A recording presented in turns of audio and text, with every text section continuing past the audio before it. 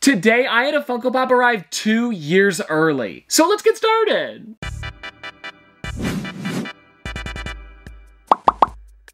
2024, here we come! And no, I'm not lying. When I pre-ordered this, it actually said it was gonna be arriving in 2024, but I thought surely not, so I ordered it anyway. And honestly, with the way that Amazon has shipped in the past, it could have been then. And now, alrighty everybody, here it is. It's a Pop VHS cover, and it's one that I wanted in my collection, probably the most out of any of them. You guys might have seen a little while ago, I got the Beauty and the Beast one, but now I have the Lilo and Stitch one, the Amazon exclusive. Look at how amazing this thing is. Oh, and I just noticed on the bottom here, there is a slight rip in the corner, but the good news is I take these things out anyway, so who really cares? And actually, speaking of taking them out of the box, let's do it now, because I really do want to see what this thing looks like, and wow, I am loving the way they did the wave on the back with Stitch on the surfboard. It really does look nice. Oh, and you know what this reminds me of? A long time ago, and I believe I still have it. I remember I dropped it at one point, but anyways, what I'm talking about is a long time ago when I went to the Disney store, they actually had an ornament that looked pretty much exactly like this. And I've put it on my tree every year since, and I'm probably gonna have to pop it on my normal tree this year. Well, actually, last year would have been the first year I didn't do it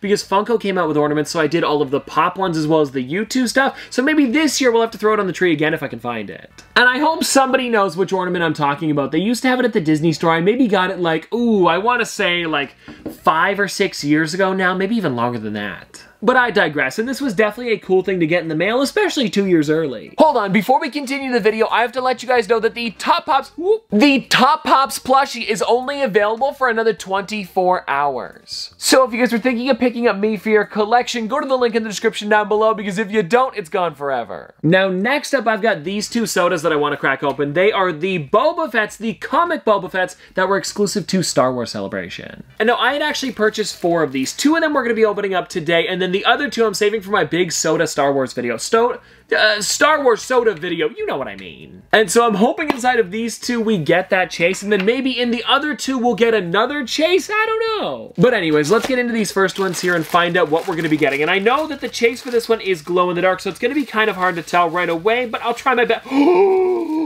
I think I got it. I actually think I got the chase. It feels a little bit rougher because that's what glow-in-the-dark paint is. I think it's the chase. Okay, this is actually gonna be crazy if it is, and I did! You found the chase, Boba Fett glow-in-the-dark, limited to one out of 1,600. I mean, come on, that's some good luck. Oh, right, I totally forgot about this, guys. So with the Boba Fett chase, it's actually supposed to look like a hologram and he glows completely blue. And I thought that was kind of crazy for Funko to do, especially because they've never done it where it's kind of like this glow over top of the normal paint. Usually it's just like whatever color the paint is, that's the color it glows. But this is definitely unique. And now I had actually ordered all of these from mypops.ca and I don't know if they came from one case or two cases, so you never know. There could be another chase inside of here, but also I would just like to get that comment. It's just too bad that the only difference with this figure is the fact that it glows, so they look very similar on my shelf. And now let's find out here, and I believe that this one is, yep, just the common, but still, it looks amazing. And if I'm gonna be honest, the common one, when it's not dark, looks a lot better than the glow-in-the-dark because the colors are a little bit more vibrant. Alrighty, now the next stuff that I've got you guys probably saw on my Instagram. And if you guys don't follow me there, you wouldn't have got a sneak peek on today's video, so definitely check me out at TopPopsYT. And inside of here is a couple different things that I picked up from Walmart. Oh, well, obviously. And anyways, let's get into the first thing here, which is the Black Adam comic cover. This here is seriously amazing, especially because it does glow in the dark, and I really want to take this thing out to see what that figure looks like a little bit closer up. And I was thinking of putting this one on my wall with the rest of the comic covers, but then I saw that Funko announced a Stan Lee one, so I'm probably going to be saving a spot for him just because it's too special I got to. Alrighty, now this is looking amazing. Like, seriously, take a look at this. What does it say?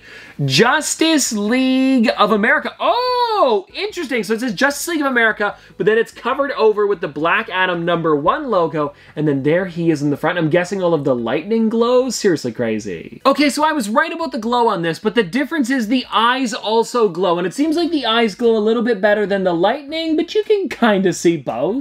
And I'm gonna be honest, looking at it on camera, the eyes look way better than the lightning, but in person, you can definitely see that they both glow. Oh, and I didn't even mention that while I was at Walmart, they had a massive Black Adam section, and apparently I was the first person to get to it, and when I got there, I ran into this, another Black Adam glow-in-the-dark chase. I don't know how I was able to find a second one of these, but I'm thinking for this one here, because I do already have it in the collection, I'm going to be giving it away to you guys. And I've talked about this a bit, but I do have a Whatnot stream coming up where I'm going to be doing a giant giveaway with probably like, I think at this point, it's got to be like 20 figures, something like that. It's going to be a big one. And because I was able to get this for retail, and I do already have it in my collection, I figured one of you guys would like this more than I do. Plus, the movie did just release, so it's perfect. Oh, okay, so this is a little bit different than I expected. I thought it was just going to be the Lightning, very similar to the comic cover, but when you take a look at this one, it's again kind of hard to see on camera, but it's the Lightning Bolt as well as the Lightning. Okay, there we go, guys. That's a lot better. And I'm also really enjoying the two colors. It's a nice touch. And then, everyone, the last thing I was able to get over at Walmart was something you guys were really bugging me about. I had forgot to pick up the Jack Skellington and Zero Ornament 2-pack, so I went back and grabbed one. And for anybody wondering, they did not have the chase. And now that I think about it, I need four chases instead of three because I forgot to talk about this one. If you guys don't know, Funko and Hallmark have teamed up to make a bunch of ornaments, and all of the 2-packs come with a gold variant, which is the chase or limited edition, like Hallmark's calling it,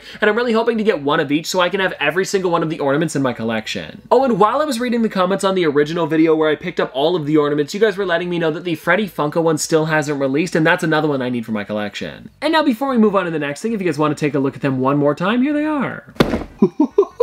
am I doing? And now this here, guys, is actually something that I ordered from Whatnot, because as you guys probably know, I wasn't able to get another one of the three liter sodas. Actually, every single one of them have had to go on the secondary market, which I'm not complaining about. It's nice that they're selling out quickly, which means they're pretty popular. Oh, check this out. Something that I did not order, but it's a nice addition, some Funko bags. And now if you guys are curious, I ordered all of these from Uncle Funko 206. So if you guys want to check him out on Whatnot, he's got some really great stuff, and he was doing like soda case breaks with all of the D23 stuff, so that's what's inside of here. Ooh, hoo, hoo, hoo. Alrighty, this is looking good. And now I've got three normal size sodas and then one three liter one. And the cans that I got were Frozone, uh, Frozone, as well as the PhilharMagic Mickey Mouse. And now let's start by opening up the PhilharMagic Mickey. And I do want to let you guys know that I know what's inside of here already because he opened them up on the stream. And I believe that all of them were common. Yeah. And now here's the thing. It's not that big of a deal because I do have more of both of these coming. But if you guys want to check out the first one here, like I said, it is the PhilharMagic Mickey. He really does look great. And if you guys are curious, the Chase is a Diamond Edition version, which I really wish I got. And then when it comes to the Frozones, it's the exact same as PhilharMagic. I tried with two of them, didn't get a Chase, so we'll just open up one of them today. But the good news is, very similar to Mickey, the sealed ones that I ordered from the Funko shop should be in soon. And so here we are, everybody. Let's find out what Frozone is looking like in person. And I gotta say, this is a really, really clean one. And again, it's too bad I didn't get the Chase, but hey, he still really looks nice. All right, now everybody, let's get into the big kahuna for today, the three liter soda. And I do really enjoy that he threw it in the original box that it came in from the Funko shop. And I don't think I mentioned which character it is, and some of you guys probably know, but if you don't, it is. Are you guys ready for this? Oh, ho, ho, ho,